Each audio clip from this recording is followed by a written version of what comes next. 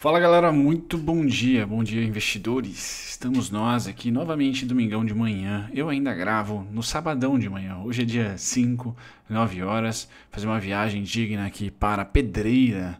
Para quem não conhece Pedreira, região lá riquíssima em porcelana, talvez eu dê uma olhadinha lá na Porto Belo e afins, tá certo? Mas brincadeiras à parte, vou lá comer peixe. Tem uma belíssima peixaria, chama Peixaria do Lago, se eu não me engano, me perdoe se eu estiver enganado, mas é muito boa.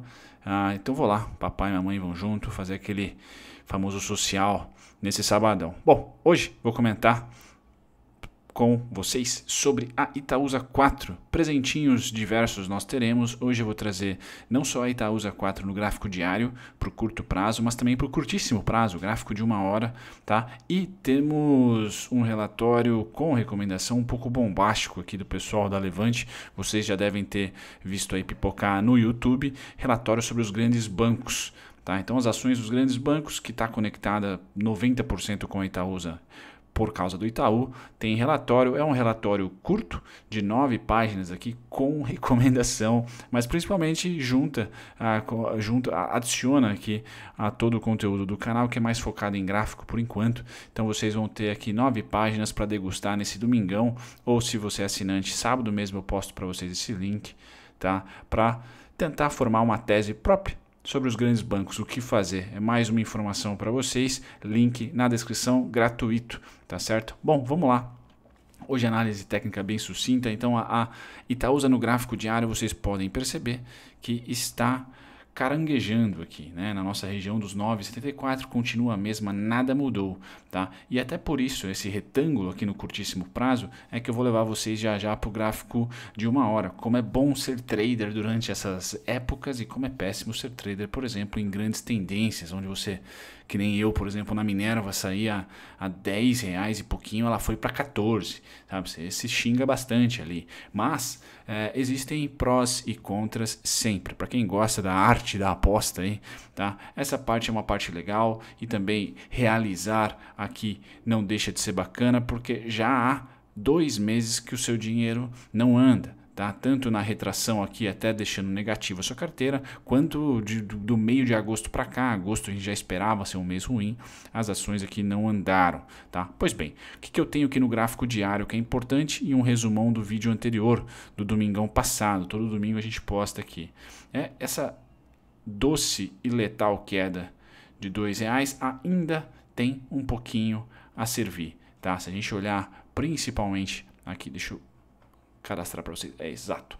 Se a gente olhar tete a tete esses e três, ah, o preço de um topo a uma mínima, ou seja, de um topo a uma mínima varia dois reais, de um topo a uma mínima chegaremos aqui a 9,9 e eu tenho os pontos aqui 876, 885. Então, gordura A para queda A não vai transformar o ativo em uma em uma tendência de queda, lembrando, ombro, cabeça, ombro, que eu vi alguns em alguns uh, canais e eu acompanho vários, então é legal, não, não tenha dúvida que literalmente é um ombro, cabeça, ombro que pode se formar aqui, só que ombro, cabeça, ombro se forma em topo, tá? Isso aqui é uma retração. Uh, isso não é válido como ombro, cabeça, ombro. Se romper, para mim é muito mais, está muito mais conectado a um movimento maior, certo? Do que a um ombro, cabeça, ombro de curtíssimo prazo formado aqui em uma retração, uma retração dessa queda tá certo? Então, acho que não há muita preocupação gráfica ainda em relação à Itaúsa, tá certo? Não há. Bom, feito isso, o que, que eu tenho para dizer? Essa região dos 9,74 é uma divisora de águas para a abertura de segunda-feira, dia 7, é, perdão, de terça-feira, dia 8, porque é feriado, segundona. Se abrirmos acima, show de bola, a gente tende a sempre mirar no segundo semestre na parte positiva, galera, aqui, ó. Tá? Por isso que eu já digo de antemão, caso o mercado beije os bancos e levante todos eles, tá?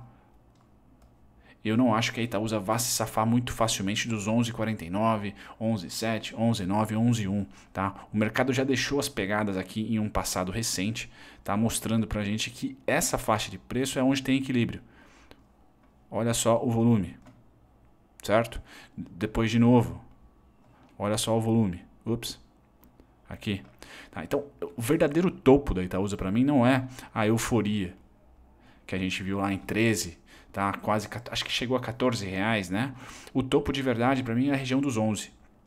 Ali é que o mercado percebe que quando vence, toca de cima para baixo é suporte, toca de cima para baixo é suporte, tá? E nesse caso agora estamos de baixo para cima, então é resistência. Então ali é o, é o, breaking, breaking point, vamos dizer assim, dando uma inglesada para vocês.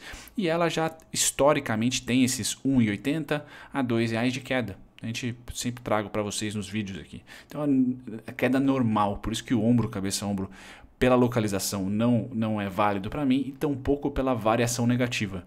É simplesmente uma retração tá certo? O ponto realmente que vai dar azia, que vocês me cornetam, vira e mexe, é que eu tenho suporte lá em 6,49 e tenho ordem lá, disclaimer feito aqui para vocês, tá? Mas a probabilidade é bem menor de acontecer do que os preços ficarem por aqui, tá? Nessa região entre 8,76 e 9,74, certo?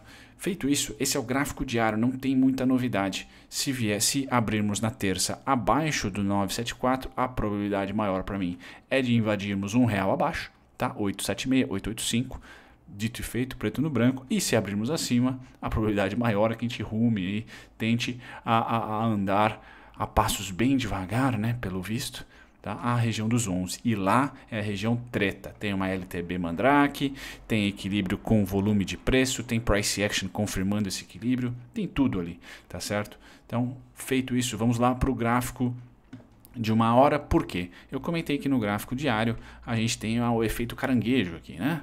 O negócio não anda, tá lateral. Vamos para o gráfico de uma hora porque trades rolam nesse momento, tá? Principalmente é, em gráficos do intraday. Antes de começar a tagarelar aqui, eu só queria uh, comentar com vocês que eu estudei para CNPI recentemente e tem lá um dos padrões gráficos que o pessoal tem vários padrões gráficos, né? Eu teria que fazer uma série de vídeos aqui para mostrar para vocês. Padrões gráficos, perdão, padrões de candle. Alguns é um é um candle individual único, outros são dois, três, enfim. Existe um que é um gap ali, que a pessoa que ou é estrela da tarde, eh, tem vários nomes, ou é um tal de bebê abandonado. Eu creio eu que seja um bebê abandonado esse esse candle aqui solitário, tá vendo? Esse candle azul branco, é azul comprador aqui.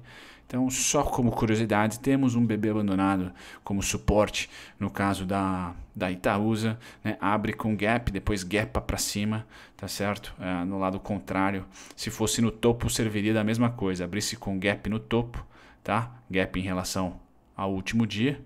E aí, no dia seguinte já, pum, direção contrária. famosa gelada, né? Para quem vendeu um possível rompimento aqui, né? Por isso que eu odeio vender ou comprar rompimento, né? Negociar rompimento é terrível. Mas enfim, esse então é um, acho eu, um bebê abandonado. Fica aí para o seu livro de candles. Bom, agora falando para vocês, se o mercado fez dois dias ali de lateralização, já liga o alerta para o IFR, já liga o alerta aqui no intraday. Vai ser bacana operar sobrevenda, sobrecompra, tá? E é, é batata isso, né? Então sobrevenda aqui, certo? Sobrevenda e sobre compra, tá? Bom, exatamente. Se encararmos tendência, tá? Eu tenho mais um ponto, isso na terça-feira, eu tenho mais um ponto além do 9,74, tá? E esse ponto é exatamente o 9,90. Então, terça-feira, se abrirmos acima do 9,90, não só o 974, mas o próprio 990 será suporte. Tá? E aí a primeira parada no curtíssimo prazo para quem gosta de trading aí é 10,33. Tá? Por quê? Eu peguei a última último rompimento aqui, pum, e voltamos a fazer tendência de queda. E agora estamos lateralizando de novo, bem mais do que aqui em cima.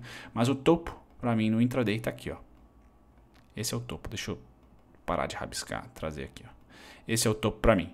Então qualquer especulação, planejamento de especulação para mim tem a primeira parada em 10,33. Tá? E o bebê abandonado aqui é o risco atual, tá certo? Para quem está otimista, para quem está querendo especular na parte compradora.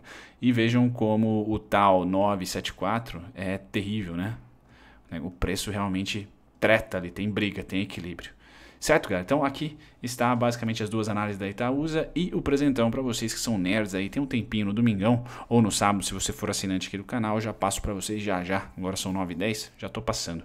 Grande abraço, um bom final de semana. Na hora do almoço, a gente se vê de novo para falar da IRB e à noite vai ter Via Varejo, clássico já aqui no canal. Tchau, tchau. Muito obrigado se você ficou até o final do conteúdo, eu agradeço a companhia de vocês e eu estou aqui para convidar vocês a pesquisarem, talvez de uma maneira mais dinâmica, os conteúdos que vocês esperam aqui do canal assistir e também aprenderem do zero e de graça com a nossa descrição. Vamos lá, para você pesquisar exatamente o ativo ou o tipo de conteúdo que você quer achar aqui no canal, visite as nossas playlists, aqui é só clicar em playlist, depois você vai ser direcionado a todas elas e aqui você vai encontrar o seu ativo preferido, o ativo que você quer estudar, unit preferencial, ordinária ou playlists que contemplam aqui ações com alto dividend yield, ou duelo de ações, onde eu comparo duas ou três, cinco ações até que vocês pedem para mim nos comentários. Passar as playlists, você também pode aprender do zero e de graça, visitando a nossa descrição. É só ir lá na descrição de qualquer vídeo meu, você vai encontrar aqui primeiro e-books gratuitos e também videoaulas feitas por mim, gratuitas, sendo três principais aqui também temos as masterclasses e mais relatório e e-book para você aprender não só análise técnica, mas também um pouquinho de fundamentalista.